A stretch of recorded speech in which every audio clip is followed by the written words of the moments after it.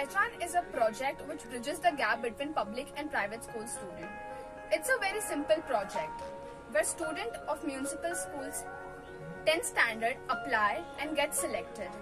They come to Pehchaan and they learn about how to get into college, why they should attend college and why it's important for them to finish college.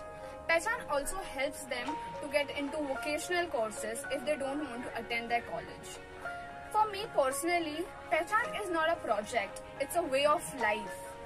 I'm saying this because it teaches me a lot of about values, it gives me a confidence, it helps me to make new friends every day.